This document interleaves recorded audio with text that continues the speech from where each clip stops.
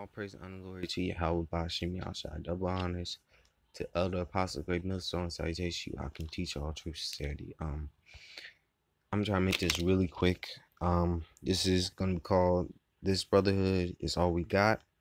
So I'm gonna read Ecclesiasticus six and eight. It says, "For for some man is a friend, or for his own occasion, will not abide in day of trouble." Um, all these friends that you used to have have left you because you're not really um, benefiting them no more.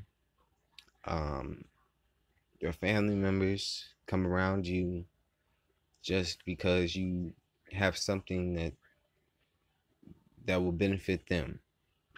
They don't come around you or call you like that if if it's uh, something just to call. They don't do that. They only call when they need something. So that's the same way with the friends you used to have. But the brotherhood, they'll like if you're in good communication with them, they don't call you to benefit them. They call you because they need to call you.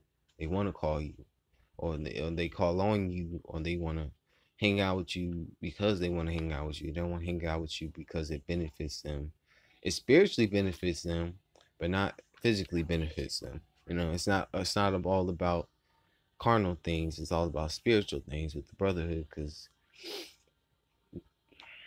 that's how it is. But and in the day of trouble, the brotherhood will have your back. They'll they'll they'll die for you if they if they if they have to. They'll die for you if they have to. I'm gonna skip to verse 10. It says, Again, some friend is a companion at the table and will not continue in the day of thy affliction. Because uh, a brother in my camp have said, you know a friend in adversity when all hell is breaking loose. That's when you. That's a true friend. They stand by you when all hell breaks loose. That's a true friend. That's a friend that you need to keep around. But if you have a, if your friends leave you when you're broke, when you ain't got nothing, that that that tells you that wasn't a true friend. They left you when you ain't had nothing, and when you got something, they all friendly, back in back in your good graces. But when you didn't have anything, they weren't there for you. Um. Uh, read verse eleven. It says, "But in the thy posterity he will be as thyself, and will behold over thy servants. If thou be brought low, he will be against thee." And will hide himself from thy face. So those friends that when you had nothing, when you were brought low, they don't have nothing to do with you. Now, um, I'm skip to verse 14. A faithful friend is strong defense, and he that hath found such an oath, oh, such an one, found a treasure. Um, so a faithful friend is one that will be there when you you had nothing at all, and will that's a faithful friend. Um, you know, and that's a treasure. Uh, I'm just get to verse 16. A faithful friend is a medicine of life, and that, that they that fear Yahweh Bashim Yahushua shall find him. Uh, so fearing Yahweh Bashim Yahushua will actually direct your friendships aright.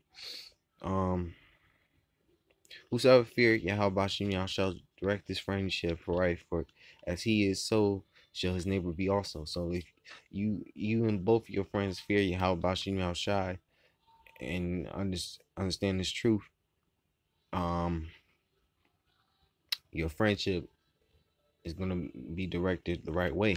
Um,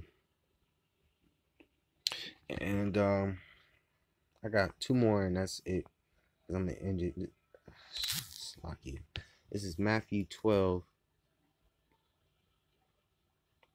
and 46. Um, it says, While he yet talked to the people, behold, his mother and his brethren stood without, desiring to speak with him. Then one said unto him, Behold, thy mother and thy brethren stand without, desiring to speak with thee. But he answered and said unto him that told him, Who is my mother, who are my brethren? And he stretched forth his hand towards his disciples, and said, Behold, my brother and my mother, my mother and my brother. Because when you under the banner of Yahweh Bashim Yahshua and you serving Yahweh Bashim Yahshua in truth sincerity and doing the, the works of Yahweh Bashim Yahshua out there on the highways and byway, you're considered a brother uh, in the truth. And, and you're considered a brother, you're considered family.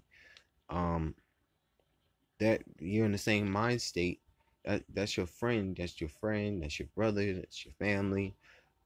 You know, those are the those are like-minded family members that you that that are are going to be your friends in adversity when you have nothing. They're going to be by your side to build you back up and to keep you from falling. And they'll lay down their life for you. So as long as you is a brother. Um and th- that talks about in John 15 and 13 is my last scripture. It says, Greater greater love than no man than this, that a man lay down his life for his friends. And it says in um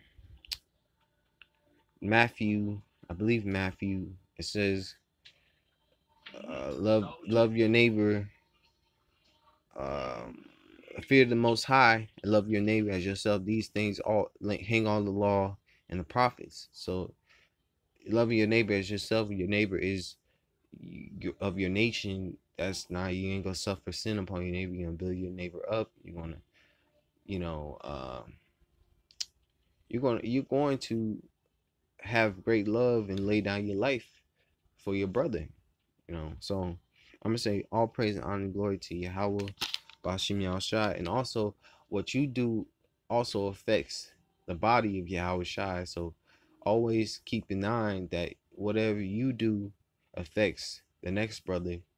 So always keep in mind to stay circumspect even amongst the, the Akim.